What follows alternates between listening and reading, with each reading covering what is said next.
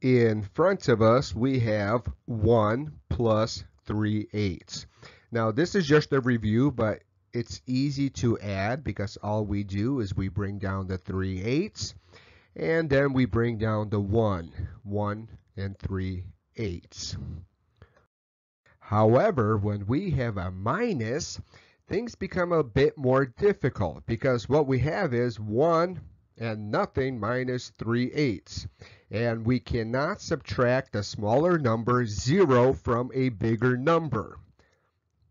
So what we have to do is we got to borrow from the 1. We cross out the 1, and then we use the denominator from the bottom fraction, which is the 8, to make an improper fraction. So now the fraction will be 8 over 8 instead of the 1.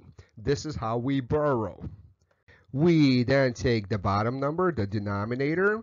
Since it's the same, we just bring it down. Draw the little fraction line.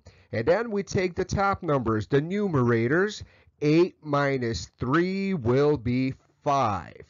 And since 1 minus, we took away the 1, the answer will just be 5 eighths. This is how we subtract whole numbers from a fraction.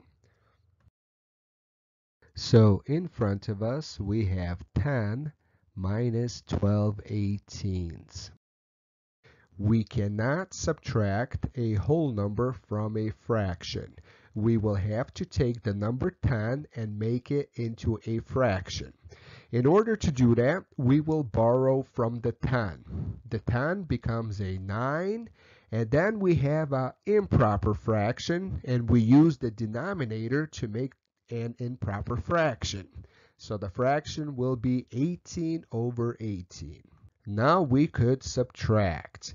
We will just take the denominators. Since they are the same, it will stay the same. We write the 18, make the little, draw the little dividing line.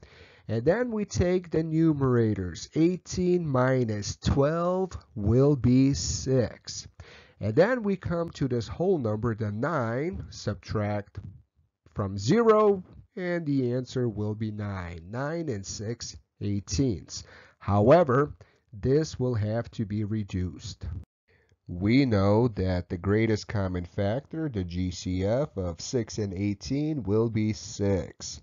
So 6 divided by 6 equals 1.